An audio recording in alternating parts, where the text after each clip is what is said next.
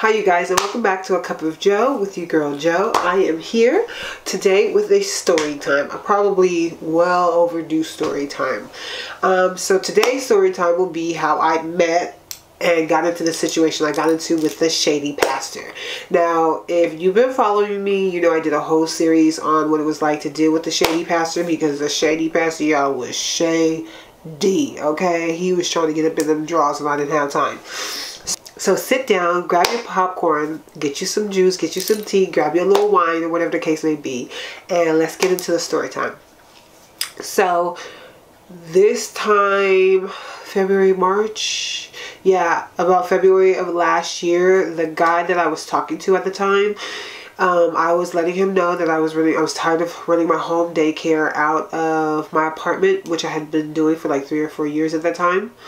I let him know that I was tired of doing it at my apartment and I was interested in buying a house, but because I live in the Bay Area and I my gross wasn't quite where it needed to be, my credit wasn't quite where it needed to be, um, I really wanted to look at my other options. So at the time, what I did is I let uh, the person that I was that I thought I was dating at the time know that I was looking for a partner. So I found one partner through my kid's friend and then another partner through somebody um, I did makeup with. The one partner who was my kid's friend's mother came second. So the very first partner that I took on was the lady, the, the person from that I knew through makeup. And that didn't go well. Uh, we didn't have the same vision for the daycare. I felt like they were more all about money, money, money, money, money.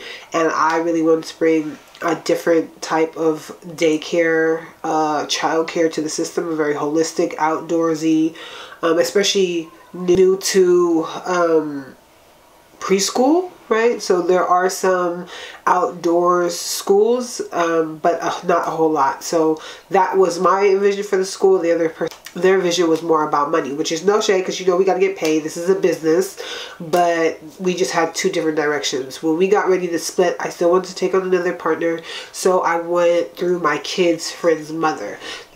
this person was already a preschool teacher, had just went to school, uh, I think just got their teacher's permit or something like that, and was now getting experience. They were excited about the idea great. I thought that was going to work. It didn't work because we didn't have the same work ethic. I would email her and text her and try to get you know questions of places and names and you know all the stuff that comes with building a business and I could never get a response out of her unless it was something for like the kids or something which is no you know but when it comes to my coin we got to be able to communicate so then that's how I ended up with the shady pastor. So the dude that I was dating with at the time um, told me about this pastor who was his pastor for since he was a little kid. So I'm not religious, just disclaimer. I'm not religious at all. I was brought up in a Baptist Christian church, but I do not associate myself with any religion, but I'm very, very, very, very, very, very spiritual. And so that was one of my concerns. So the person that I was dating at the time had me meet with the pastor. I met with the pastor. I created this whole little um, it actually wasn't little, it was like a 15, 20 page proposal um, what the daycare, what my purpose was, how many people, how many staff, how many kids, um, what it would look like and things like that. Uh, all the operating cost and um, rules and regulations that we would need to follow. So that way he could tell me if that was something that he was interested in. Well, he didn't even look at the proposal, which should have been my first clue. Um, he didn't look at the proposal. He said it was good. I told him that I would give him like a week to look at the proposal and then we would meet again. I gave him a week. Um, and then after the week, he still didn't look at the proposal, so I gave him like another couple of days. He kind of skimmed the proposal. He said yes. While he was showing me the property, he actually showed me the pl a place that was on the property that was like a little apartment that he was using for storage. Supposedly, he was supposed to use it as a nonprofit for homeless people or people who was who were in transitional housing for addictions but at the time he was just renting it out to one person for like $500 this person wasn't um, an addict and they weren't necessarily homeless. They were just somebody that they knew that he could get some money off of. So he kicked them out and had me come in and when i moved in there was nothing moved. He didn't move anything. He didn't take out anything. So me and my kids spent um, like a week maybe a few days, maybe like two or three days, moving the stuff that the pastor was supposed to move out, that he said he was going to move out, and that should have been sign number two. So as I moved everything out, it was bookshelves, beds, uh, TV, stuff like that, and clean down the carpet, clean the blinds, wipe. It was really, really dusty because he had a lot of bookshelves there and a lot of office supplies um, and dishes like stuff and dishes from the person who was there before that he got rid of, but they didn't clean up. So we had to do a lot of cleaning when we went in. When like the second month, no, the first month came. First or second month, because I think maybe the first month was already paid, but by, by the second month, by the second month, I had deducted all of the things that he was supposed to fix before I moved in there. Well, when I deducted the the items off of the rent and gave him the rest of the rent, that's when he wanted to talk to me about all the stuff that I had told him that I needed to be fixed before. So it wasn't just like I moved in and started fixing stuff. I gave him a list of everything that needed to be fixed in the house when we first went through the walkthrough. He didn't fix anything. He didn't move anything, so he let alone didn't fix anything. So um, I told him, you know, I had let you know this months before I even moved in. It was outlet. It was this stuff like an outlet, like the whole outside of the outlet were missing. There was multiple windows that were broken. There was no bathroom, like uh, shower. So you couldn't turn the knob. It would just break off, and the sink in the kitchen it leaked water, right? And so we all know that if you have a sink that leaks, if you have anything that leaks water, you're to have mold. So I was trying to prevent all of that. And like I said, we had discussed this before I even moved in. But lo and behold, here I am. So I have somebody fix these things. Some of the stuff I can fix, but not really. So I have somebody fix the things and I deduct them off the item. First thing he tells me is this is the first time he tells me, don't start none, there won't be none. So look, I've never, ever, ever, ever, ever seen that in the Bible. Never. Okay? So if one of you guys could just tell me where in the Bible okay the book of quran whatever whatever book of allah where it says don't start none will be i ah, will gladly go back to church so after he told me that the first time, I reiterated to him three times that by California state law, he was supposed to fix these things. And because he didn't fix these things, I have all right to deduct him for the rent and turn in the rest of the rent. So he told me that he was going to have his wife relook over the numbers. And like I said, I told him three times I wasn't paying anything else and nothing more. Because I had to fix these things that he was supposed to fix time goes on. We get over that. Maybe like a month later um, he has people because this is not a real church. As you can see from my series it's not a real church. It's like a storage place and a business for him to kind of keep as a tax cover up. And so he would have people from his business come and park into my parking stall. By our contract i have two parking stalls. He would have people come park into our parking stall. Well, on this day specifically, I had two infant babies that were in carriers that were asleep and like a few school age kids because it was a minimum day. I go and put the babies inside and take the kids inside and park in his wife's parking spot. Okay, but that's because they have somebody parked in my parking spot, and I just told you I had not one but two babies that I had to carrier in carriers, and they were asleep. So I took them inside before I could even turn around good. Here comes the pastor's wife bamming on my door. Bammy, bammy, bammy. So I go running to the door because like I just said, I had two babies asleep and I wasn't trying to have them wake.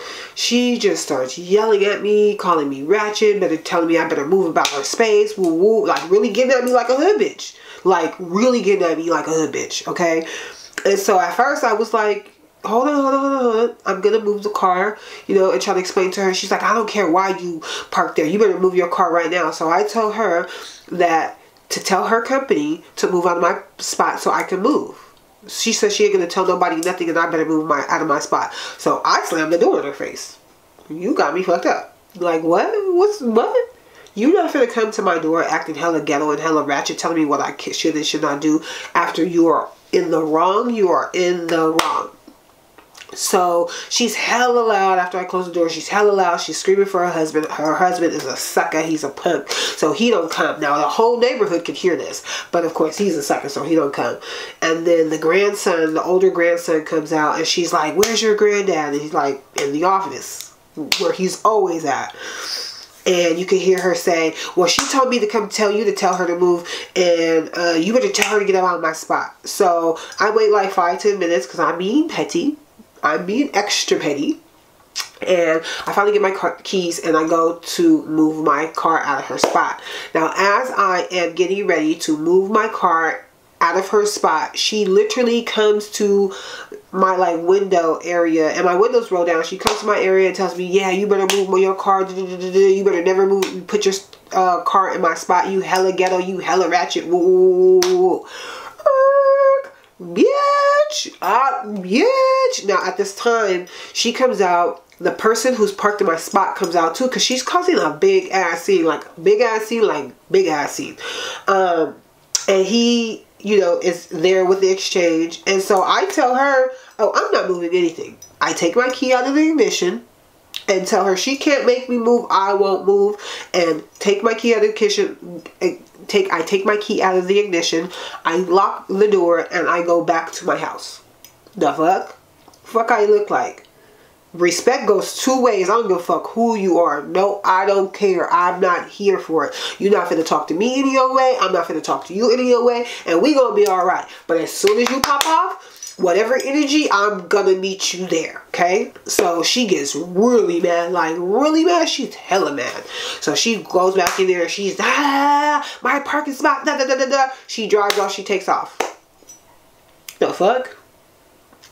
I watch the whole thing from my window and see the shady pastor so y'all can see him with his eyes. So if you ever in Oakland off 55th, and you see this church with the shady ass pastor, you stay away from him because it's not a real church. He's not a good tax person. He's not a good person. His wife got bad energy. They got bad juju. They done put bad juju all over that church. I don't know.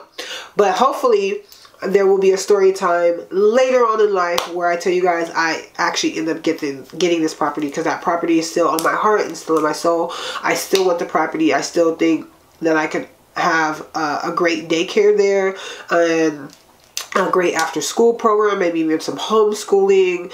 I could um, do yoga classes like I wanted to for the community and have bingo night and have movie night for the community. So I definitely still have my eye on the property as far as purchasing it. So that's another reason why I'm like working on my credit and trying to stack my money and stuff because I really really want that property. Um, and he's not doing nothing with it. He's not running a church out of it. He's not renting it out. He's not letting other people use it and as you can see in some of my other videos. Literally all he's doing is renting out places so people can park their cars so he can get his stuff Okay, so on top of being a shady pastor and running a business there, he literally just lets people park their cars there so they can pay him money. So he literally is getting money off of everything. But not paying his taxes. Boo boo.